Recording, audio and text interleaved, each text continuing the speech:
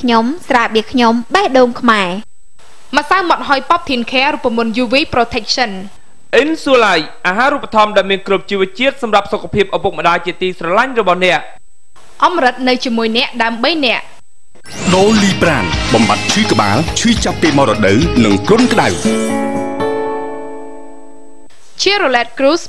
2013ថ្មី ទំនើបទាន់សម័យកម្លាំងខ្លាំងស៊ីប្រេងតិចគុណភាពខ្ពស់ ស័ក្តិសមបំផុតសម្រាប់យុវវ័យសម័យថ្មីអូរ៉ៃវិមានភ្នំពេញលំនៅឋាននៃសុភមង្គលគម្រោងអភិវឌ្ឍលំនៅឋានរបស់ក្រុមហ៊ុន Lee Hua Group EasyCom គឺជាក្រុមហ៊ុនអ៊ីនធឺណិតល្អផ្ដាច់គេ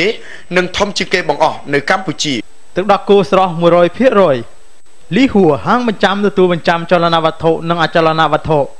Belty មានបង្រៀនចំណេះទូទៅភាសាអង់គ្លេសទូទៅថ្នាក់ជំនាញឯកទេសថ្នាក់កុំព្យូទ័រថ្នាក់ត្រៀមប្រឡងតេស្តអន្តរជាតិ ទូរស័ព្ទលេខ023 99 99 86 023 99 99 75 website www.belty.edu.kh CP ធ្វើឲ្យជីវិតកាន់តែប្រសើរឡើង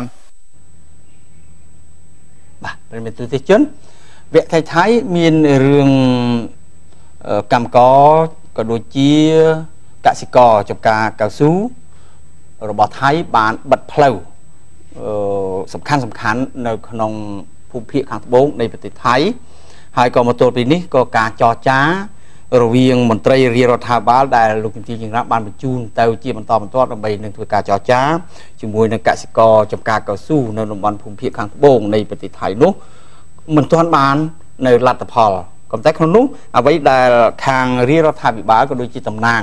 របស់លោកជំទាវជាងរ៉ាបាន ឲ្យកិច្ចសម្ភារដល់អ្នកសារព័ត៌មានចំនួនថាជាទូទៅគឺ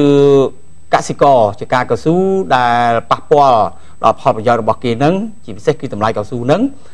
មួយចំនួនធំគាត់បានឯកភាពហើយក៏ទទួលយកនៅអ្វីដែលជាចំណាត់ការរបស់រាជរដ្ឋាភិបាលហើយក៏ប៉ុន្តែដោយឡែកដែលមានកសិករមួយចំនួនទៀតដែលមកពីខេត្តផ្សេងផ្សេងហើយក៏ខាងអាយក្រហមបានចោទប្រកាន់ថាជាការញុះញង់របស់ គណៈបកប្រជាធិបតេយ្យដើម្បីកេងចំណេញផ្នែកនយោបាយបង្កនៅអំពើហិង្សាកើតឡើង ចេញពីកសិករចការកស៊ូនៅតំបន់ភូមិភាគត្បូងហ្នឹងដើម្បីមានចេតនាផ្ដួលរំលំរាជរដ្ឋាភិបាលលោកទីយ៉ាងរ៉ាក់ទើបនៅមាននៃការបិទផ្លូវក៏ដូចជាផ្លូវដែករបស់ថៃពី ភូមិភាគកដាលទៅភូមិភាគខាងត្បូងហ្នឹងកំពុងតែជាប់គាំងពេលបច្ចុប្បន្ននេះប៉ិតប្រកាសណាស់លោកនាយកហើយពាក់ព័ន្ធទៅនឹងចំណុចនេះផងដែរទស្សនិកជនយើងក៏សម្គាល់ឃើញថាប្រជាជនថៃនៅភូមិភាគខាងត្បូងកំពុងតែស្នើសុំឲ្យក្រុមបាតកោចំការកស៊ូនេះបន្ថយនៅចំហរបស់ខ្លួនក៏ដូចជាបើកផ្លូវមួយចំនួន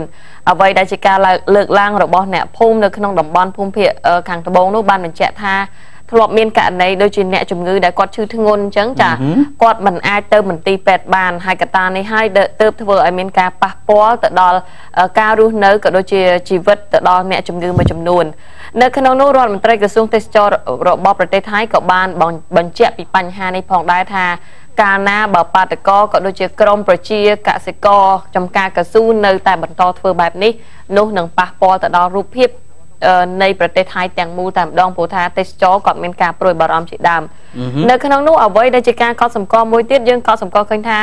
ការទៀមទារបស់ក្រមបាតកោនេះបានបញ្ជាក់ថាគេនឹងធ្វើឲ្យកាន់តែខ្លាំងទៀតនៅថ្ងៃអង្គារសប្តាហ៍ក្រោយនេះប្រសិនបើរដ្ឋាភិបាលមិនព្រមទៅតាមអ្វីដែលជាសំណើរបស់ក្រមបាតកោនេះហើយនៅក្នុងនោះក៏សូមបញ្ជាក់ផងដែរថារដ្ឋាភិបាលហាក់ដូចជាមិនបង្ហាញនៅចំហទុនណាមួយទៅតាមអ្វីដែលកសិករទៀមទាទេប៉ុន្តែ រដ្ឋមន្ត្រីនៃក្រសួងហិរញ្ញវត្ថុរបស់ប្រទេសថៃបានបញ្ជាក់ថាក្នុងនោះគឺរដ្ឋាភិបាលរបស់ប្រទេសថៃបានត្រៀមនៅទឹកប្រាក់ចំនួន2000លានបាតរួចទៅហើយក្នុងគោលបំណងដើម្បីជួយកសិករកៅស៊ូនោះតែម្ដងចា៎កសិករកៅស៊ូណាបាទបាទទោះជាយ៉ាងណាក្តីប្រិមត្តទស្សជន នេះគឺជាការធ្វើបាតកម្មបិទផ្លូវនៅក្នុងប្រទេសថៃ ដែលខាងអាវក្រហមក៏បានចោទទៅលើគណៈបកប្រជាធិបតេយ្យដែលជាគណៈបកដែលកំពុងតែរកវិធីគ្រប់វិធីទាំងអស់ទាំងខាងក្នុងនិងខាងក្រៅសភាដើម្បីនឹងធ្វើយ៉ាងណាឲ្យមានភាពល្អកកក៏ដូចជាអស្ថិរភាពក្នុងការឈានរំលំរដ្ឋាភិបាលលោកជំទាវយីងឡាក់បាទក្នុងនោះបើនិយាយទៅក្នុងរដ្ឋសភាពីម្សិលមិញនេះគឺរលូនល្អទេចា៎បាទ ដូចជាអូហូទៅជាក្មេងល្អសិស្សល្អបាទសមាជិកសភាមកពីគណៈបពប្រឆាំងហ្នឹងអឺគឺ slow boat និយាយស្រួលបួលស្ដាប់ហើយក៏មានអឺឆ្លងនៅមេត្រាមួយចំនួនផងដែរនៅក្នុងសភាថៃពីម្សិលមិញនេះក៏ប៉ុន្តែក្នុងនោះបើយើងនិយាយទៅការដែលអឺច្បាប់ដើម្បីនឹងធ្វើពិសោធនកម្មច្បាប់ស្ដីអំពីការ អឺបានមកនៅព្រឹទ្ធសមាជិកដោយការបោះឆ្នោតនោះគឺមានការគ្រប់គ្រងច្រើនពីប្រជាជនបើយើងមើលទៅស្ថិតិរបស់ចានៅក្នុងនោះគឺជាការធ្វើស្ថិតិដោយស្ថាប័នឯករាជ្យមួយហើយដែលបានចេញបង្ហាញនៅទិន្នន័យកាលពីថ្ងៃពុធម្សិលមិញនេះឃើញថាប្រជាពលរដ្ឋដែលក្នុងនោះគឺក្រោមការធ្វើស្ថិតិជាង1000នាក់1249នាក់ដែលមានអាយុលើ18ឆ្នាំនោះអឺ គេបានគ្រប់គ្រងនៅអ្វីដែលជាការលើកឡើងរបស់ខាងគណៈបកភឿថៃលោកនាយកចាប៉ុន្តែអ្វីដែលសំខាន់គឺគេថាប្រសិនបើមានប្រព័ន្ធនៃការជ្រើសរើសព្រឹទ្ធសមាជិកដោយការបោះឆ្នោតនោះនោះគឺជាការប្រសើរហើយយើងឃើញថាតួលេខនេះបានបង្ហាញច្រើនមែនទែនភាគច្រើនតែម្ដងគឺគាត់មានការគ្រប់គ្រងទៅដល់អ្វីដែលជាការធ្វើវិសោធនកម្មរដ្ឋធម្មនុញ្ញត្រង់ចំណុចនេះចា៎បាទបាទដោយឡែកចំពោះ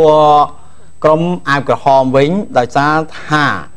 ប្រហែលថ្ងៃនេះប្រហែលសប្តាហ៍នេះឃើញថាក្រមអាវលឿងក៏ដូចជាក្រម